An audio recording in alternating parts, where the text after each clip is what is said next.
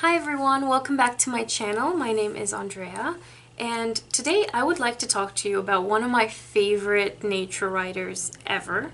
I just discovered her in the past week and I've read two of her books. In my video that I made a while back called My Favorite Nature Writing, I have to admit that these two books have made me rethink that list and if I were to redo it, she would go at the very top because she is that amazing. So the author I'm talking about is Robin Wall Kimmerer. Now she is one of the most wonderful writers and um, she wrote a book called Braiding Sweetgrass which you can see here, and Gathering Moss, A Natural and Cultural History of Mosses. Now, the cover is a bit shiny for this one, so you can't really see it properly, but it's you know, moss. And this one was the winner of the John Burroughs Medal Award for Natural History Writing. Robin Wall Kimmerer is she is an indigenous woman. She's a member of the Citizen Potawatomi Nation, but she is also a professor who teaches ecology and has studied science and environmental science in a very sort of Western scientific way.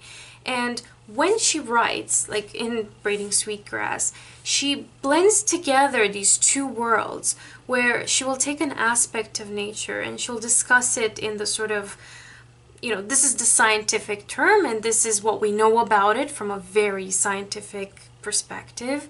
But then she'll take a step back and say, but this is what it means to me and this is how I came to remember this or this is the myth associated with this from my people. This is the legend. This is what it meant to my tribe or to my ancestors.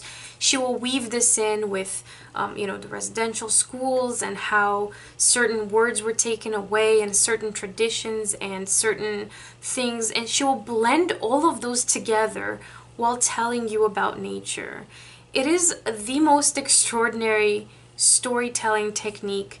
And above all, I have to admit that both of her books I not only have, but I also got the audiobooks on Audible and she herself reads them.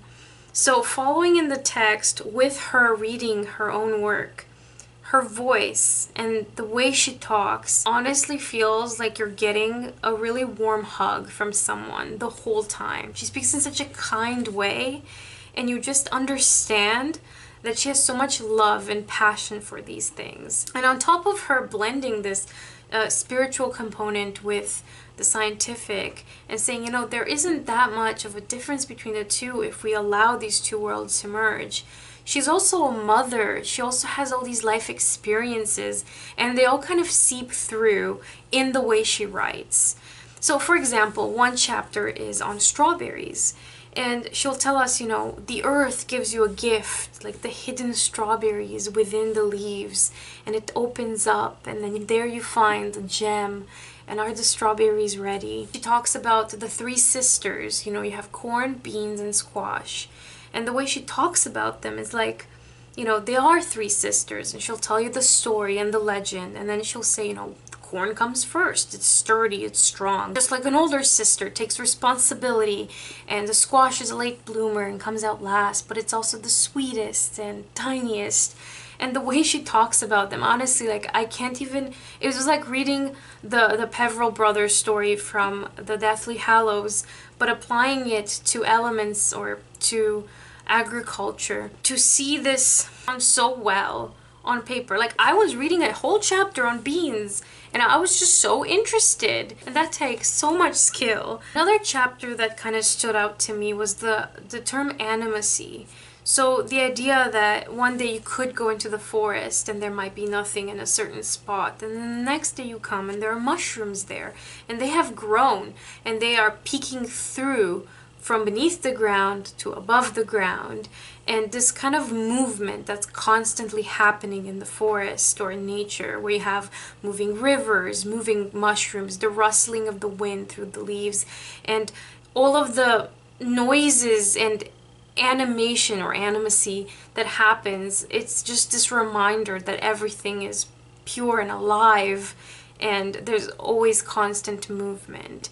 So I really enjoy that. And then there are many moments where she'll tell you about some of her experiences with her daughters or some of the field trips that she took with her class and what each student would say. And it was just so interesting and fun and peaceful.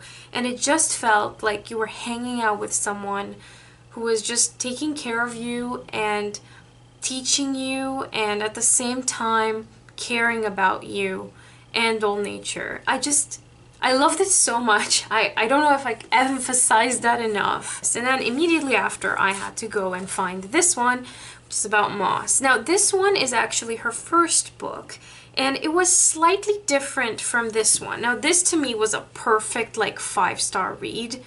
Six, seven, eight, a hundred. Loved it. This one feels more like a thesis. There's something about it that's just so focused just on mosses and it is interesting. It's just there's a lot to remember because she'll take each kind of moss in turn and she will talk about it. And there are illustrations, but small ones, where you have kind of types of mosses and then she'll tell you about them. She'll describe them to you in Latin and then she'll tell you a little bit about their environment, um, how they reproduce. There's a lot on reproduction in terms of mosses and it's very similar. And again, she'll draw some parallels between us and mosses. Or she forces you to think about moss was there when the earth started and how it took the weight of the water and how it could adapt and survive in certain environments. But this one was just way, way more focused. And again, just to go back to this one, another element about this book of what I, something I really, really appreciate about it was that in every chapter she would also kind of sprinkle fun facts, but then she'd also sprinkle fun thoughts. Like, oh, you know, I always thought this would be kind of fun, and um, it's it just feels like a camaraderie. You feel connected to the author, and you feel like you're just hanging out. So, for example, she spends an entire chapter discussing Nanabozho, who is um, a figure, a great figure in um, indigenous culture. And as she discusses sort of his lessons to us about nature, she likes to imagine him hanging out with Carl Linnaeus and them walking a path together and naming things and what naming things means to them and how they came up with all these terms and branches and uh, the way they named and appreciated nature because naming nature is a part of being human. And just these thoughts where it's like okay that wasn't you know scientific but it was just a fun thought. And i like to picture them two walking side by side in the forest and to have moments like that is just worth every moment of reading and then the other one is just like fun fact you know like lichen is both a fungi and an algae who knew? I would strongly recommend both of these. If you had to choose one, I would say definitely go read Braiding Sweetgrass. Um, the full title is Braiding Sweetgrass, Indigenous Wisdom, Scientific Knowledge, and the Teachings of Plants. I will leave a link down below to Goodreads where you can add this to your list if it interests you.